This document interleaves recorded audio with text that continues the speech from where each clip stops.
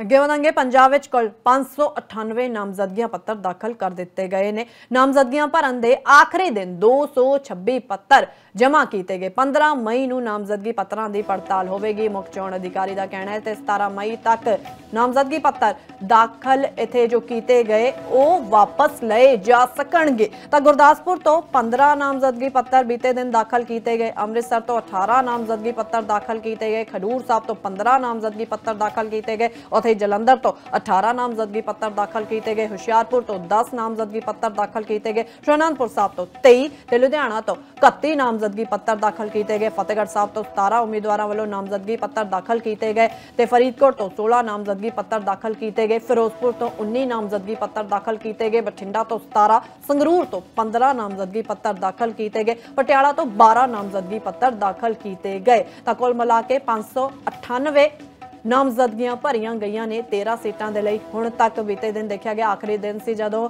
ਨਾਮਜ਼ਦਗੀ ਪੱਤਰ ਦਾਖਲ ਕਰਨ ਦਾ, ਤਾਂ 226 ਨਾਮਜ਼ਦਗੀਆਂ ਬੀਤੇ ਦਿਨ ਭਰੀਆਂ ਗਈਆਂ ਤੇ 15 ਮਈ ਨੂੰ ਹੁਣ ਇਹ ਨਾਮਜ਼ਦਗੀ ਪੱਤਰਾਂ ਦੀ ਪੜਤਾਲ ਹੋਵੇਗੀ।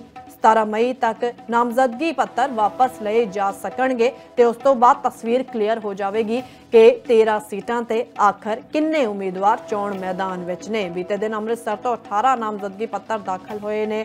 ਖਡੂਰ ਸਾਹਿਬ ਤੋਂ 15 ਨਾਮਜ਼ਦਗੀ ਪੱਤਰ ਦਾਖਲ ਹੋਏ ਨੇ ਤੇ ਉੱਥੇ ਹੀ ਜਲੰਧਰ ਤੋਂ 18 ਨਾਮਜ਼ਦਗੀ ਪੱਤਰ ਦਾਖਲ ਹੋਏ ਨੇ ਤੇ ਉੱਥੇ ਹੀ ਇਹ ਦੇਖਿਆ ਗਿਆ ਕਿ ਹੁਸ਼ਿਆਰਪੁਰ ਤੋਂ 10 ਨਾਮਜ਼ਦਗੀ ਪੱਤਰ ਦਾਖਲ ਹੋਏ ਨੇ ਤੇ 13 ਸੀਟਾਂ ਤੇ 598 ਨਾਮਜ਼ਦਗੀਆਂ ਭਰੀਆਂ ਗਈਆਂ ਨੇ ਹੁਣ ਤੱਕ ਤੇ ਹੁਣ ਇਹ ਵੇਖਣਾ ਹੋਵੇਗਾ ਕਿ ਕਿੰਨੀ ਨਾਮਜ਼ਦਗੀਆਂ ਵਾਪਸ ਲਈਆਂ ਜਾਂਦੀਆਂ ਨੇ ਤੇ ਜਦੋਂ ਚੈੱਕ ਕੀਤੀ ਜਾਂਦੀ ਹੈ, ਪੜਤਾਲ ਕੀਤੀ ਜਾਂਦੀ ਹੈ, ਉਸ ਸਮੇਂ ਕਿੰਨੇ ਨਾਮਜ਼ਦਗੀਆਂ ਰਿਜੈਕਟ ਹੁੰਦੀਆਂ ਨੇ।